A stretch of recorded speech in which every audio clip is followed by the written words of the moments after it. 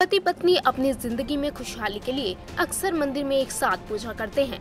लेकिन एक मंदिर ऐसा है जहाँ अलग होने के डर से कोई भी पति पत्नी एक साथ पूजा नहीं करते। शिमला के पास रामपुर के मशरू गाँव में एक दुर्गा माता का मंदिर है। कहते हैं कि इस मंदिर में अगर पति पत्नी ने एक साथ माता के दर्शन कर लिए तो माता रुष्ट हो जाती है और इन दोनों को अलग कर देती है। इस मंदिर को श्राई कोची माता मंदिर के नाम से भी पूरे हिमाचल प्रदेश में जाना जाता है। जहाँ दर्शन को जाने वाले दंपति एक एक करके मंदिर में घुसते हैं। पहले पति दर्शन करके आता है और उसके बाद पत्नी मंदिर में जाकर माता के दर्शन करती है।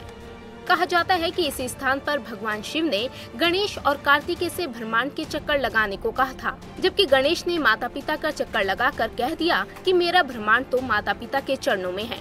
उनका विवाह हो गया और कार्तिकेय ने कभी भी विवाह न करने की कसम खा ली।